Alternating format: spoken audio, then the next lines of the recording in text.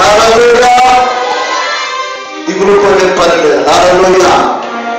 దేవుడు ఇవి పట్టిక సంతోషముతో ఆనందంతో ఆయన రద్దు వేసి దేవుని ఆరాధించవలసిన వారు వెళ్ళినా